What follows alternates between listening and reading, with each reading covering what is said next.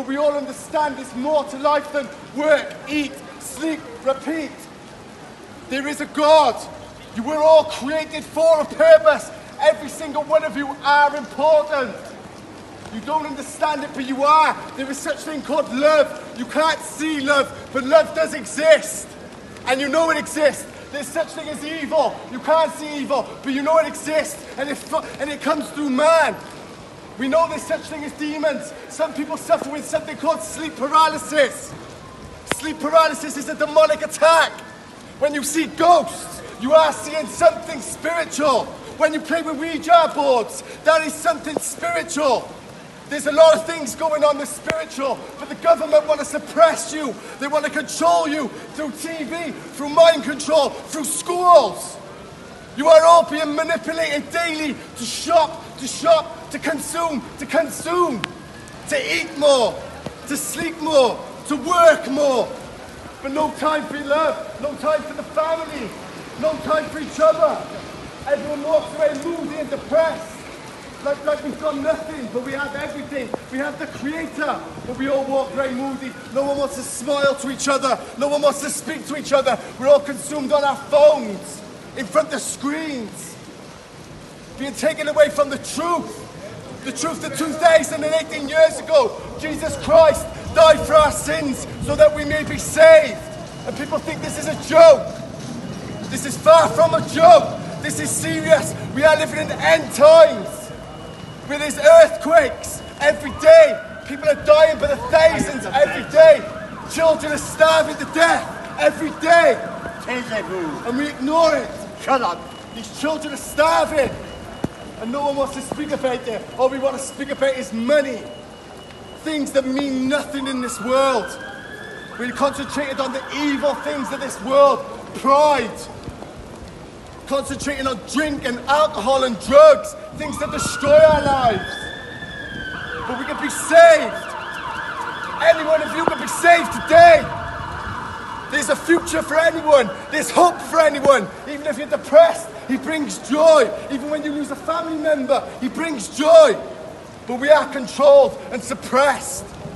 Everybody's suffering with anxiety because we all feel that there's a need to hit this certain standard in life. But when you become a Christian, you realize material things mean nothing. And you give your trust to God. And even if you've got to stand in the rain and preach to people, love, to love each other, because no one loves anymore. Everybody hates. There's wars going on, constant wars. Yet you trust the government to give you your science. Yet the Christian says, well, the Bible says, thou shalt not kill. Yet the Christian scene does mental and crazy for saying lying's evil, for saying stealing's evil, for saying war is evil. We are called crazy. Yet it's the government that are causing wars, the government that are lying, the government that are allowing children to starve to death. And you look to them to educate you. Yet they educate you with a lie to keep you dumbed down and suppressed because they're Satanists and they want to keep you away from God who brings joy, who brings love, who brings peace. The one day of the year, Christmas Day, that everybody loves, realistically, is done in the name of Jesus. The one day, the best day of the year that children look forward to, done in the name of Jesus. Every day should be like Christmas. And I know I'm not, I'm not talking about gift giving, I'm talking about loving your neighbour, loving your family, treating each other with respect, smiling at each other, not just one day a year, all days. And that's what God is all about, bringing the kingdom of heaven down to this earth so that we can rejoice and love each other. No racism, no hate, no pride, no ego.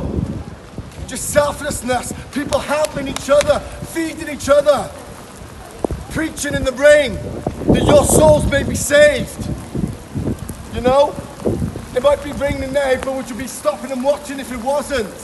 I praise God even in the rain. Do you know why? Because we need rain for food. Without rain, we have no food. So this is a blessing. You look at it as, oh, it's raining, it's a curse. But reality is, we need rain for food. So this is a blessing. In some countries, they don't get rain. They don't get food. We do. We are blessed. But as we turn our backs on God, everything evil comes on the rise. Suicide on the rise. Alcohol on the rise. Alcoholics on the rise. Drunks, drugs, everything evil on the rise. Hate, divorce on the rise. Families turning against each other. Brother against brother, sister against sister, neighbor against neighbor. Hate, hate. But God teaches us to love, to love, to smile. Smile at each other. Every day of the year. Every day of the year. Smile, show each other love. Tell your family you love them. Tell your children you love them. Speak life. There is power in the tongue. Can put someone down just by saying one word. They can be so depressed they can kill themselves. Or you can say something nice and actually stop someone killing themselves. All because of one word. How are you doing? Are you good? You know? Are you okay? Have a good day. Just mind the things to cheer people up. You know, people want to put each other down. They want to put their mates down. They call it banter, but realistically, it's just putting people down. There's no love. There's no love. It's just pure hate, jealousy, and envy. And that's where the evil comes from. Satan. And it's coming from your government. You don't even understand. The police are finding people for next to nothing. But the paedophiles, they get three months in jail. Yet someone who's doing something good